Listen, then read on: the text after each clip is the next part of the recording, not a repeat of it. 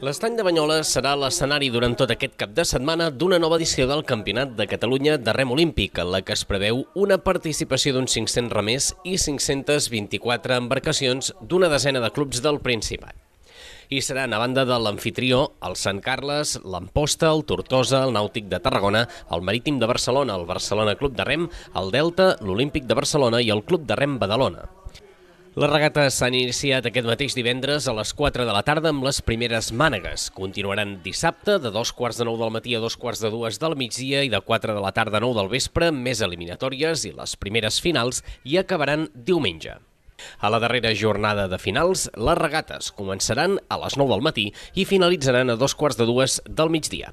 La competició abraça les categories a la vi infantil, cadet, juvenil, absolut i veterà i inclou totes les modalitats del rem olímpic des de l'esquif fins al 8 amb timoner, menys en alevins, on no hi ha ni el 2 sense, ni el 4 sense, ni el 8 amb timoner. Òbviament, el club anfitrió, el Club Natació Banyoles, serà de llarg el més representat, amb 121 esportistes, seguit del Reial Club Nàutic Tarragona amb 93. Els banyolins buscaran recuperar el títol de campió de Catalunya que l'any passat li va prendre precisament el club tarragoní.